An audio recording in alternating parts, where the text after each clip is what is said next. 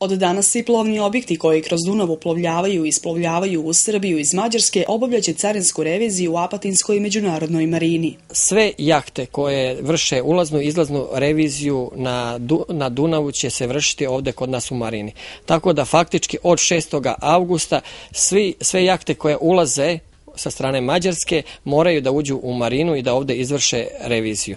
Ovom javnom preduzeću su od strane Eko Ruralneta predati na korišćenje brodića Patinka, dva čamca i lađa Gornje Podunavlje od javnog preduzeća Vojvodina šume. Već u septembru mesecu do negde polovina oktobra mislimo da realizujemo oko 2000 a, učenika što opština Apatin, što zapadno-bačkog okruga. U tome će nam pomoći i ova druga lađa koja je, kažem, došla i napomenuo sam iz Vojvodina šuma zajedničku realizacijom ugovorom to definisati. Ona će biti stacionirana ovde u našoj marini i to će biti jedan od vodećih naših ponuda koje imamo u okviru same marine. Plovni objekti čiji su prevozni kapaciteti oko 50 osoba bit će namenjeni za sprovođenje radionice u prirodi, što znači da će osnovci srednjoškolci Zapadno-Bačkog okruga imati priliku da u sklopu svojih redovnih časova pohađaju predavanje u prirodi. Vrednost imovine je preko 30.000 evra.